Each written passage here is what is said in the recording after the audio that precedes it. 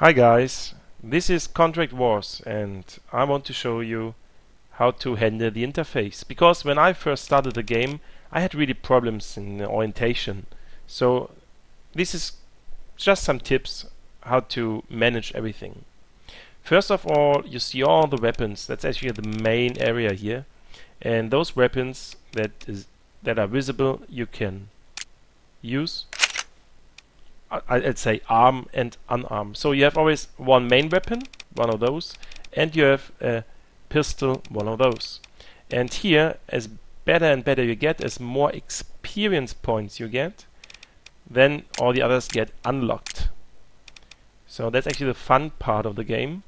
You get better weapons and you can kill faster. Okay, so this one I bought already in the beginning. I'm still in the in the first level I reached uh, level 2. I played just one game, I guess. And so this is the one you get in the beginning.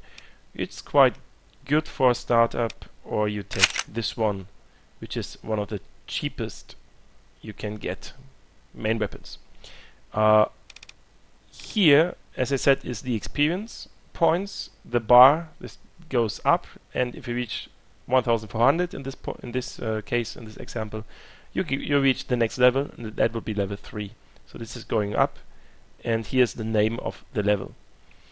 The skills is um, uh, is flashing here. You can you have those SP skill points over here three skill points and you can buy skills with GP golden points which is golden points which you get a bit here you can see it on the left. Or you pay by money. Yeah, it's okay. You can buy stuff, digital weapons, and skills. Uh, so for example, this one is one SP, one skill point we need. Uh, we have three skill points, and we could we could unlock this skill. It's written pistol accuracy training from world known IPSC. Okay, that actually doesn't matter. What matters is that it's written here plus 5 points to pistol accuracy.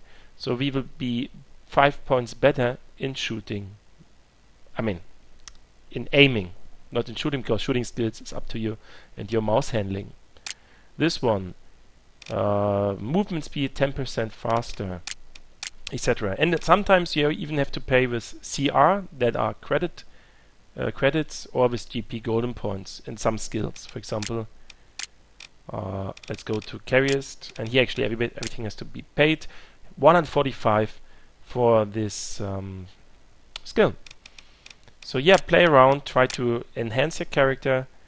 Uh, we do now the okay. The reload speed is quite important because if you re reload, every, every, yeah, the, the opponent can shoot you. So let's increase the speed and book it. Nice sound, by the way and more to the interface. Here you can buy stuff. Here is uh, some. This is called MP. This is the sign here. It's uh, mod points. You can use those for modding your weapons. Later on, you can click here on this little item icon, and then you can change your weapon. Uh, those little stars here are contracts. You can, for example, this one you get 1 SP if you kill 20 enemies. Bronze. There was bronze, there's silver. We have to make 3 double kills, which means one double kill is killing somebody and another one in, I don't know, one second or something. Just uh, really quickly each after another.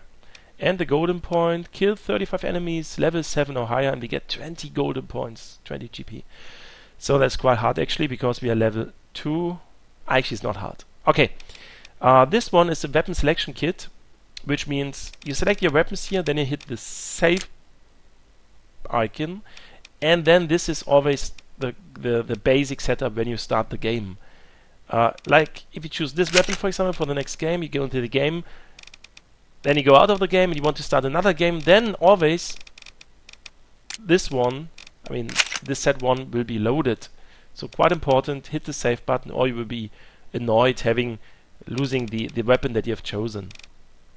Here the roulette, is quite fun. I show it to you later because we need to to have level 10. Then we can gain, uh, we can win um, credits, special weapons for six hours, or special skills for a certain time. Uh, so that's the main back uh, interface. Uh, packages, yeah, you can buy stuff. Or you see 65,000. That's actually affordable later on. Um, the interesting things here is the W tasks. Uh, if you do, for example, here uh, 45 headshots with the weapon, then you get an objective, um, a laser pointer and a silencer. So you see accuracy goes up by 4 points, recoil goes down, mobility goes down, damage goes down, but you have a silent um, shot, which in this case might even mean they are not visible. Uh, so W tasks are special things. Sometimes it's quite worth it, sometimes it's just for fun. So we could jump into the game and try to kill 20 enemies to get one SP. That's the thing we do now. In the next part. And to do this, we go to the GameDesk browser and we choose Deathmatch, everybody against everybody. The other matches, like team elimination, are not available yet because we are still a noob and a, beginner without any experience. So we have to kill first a lot of people and then having a better experience we can join death matches. Alright, the in-game I show you in the next video.